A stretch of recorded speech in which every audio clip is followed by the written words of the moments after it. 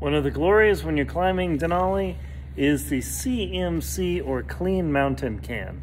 This is where you go number two because you've got uh, 900 or 1,000 or 1,100 people climbing on a mountain in a very concentrated space.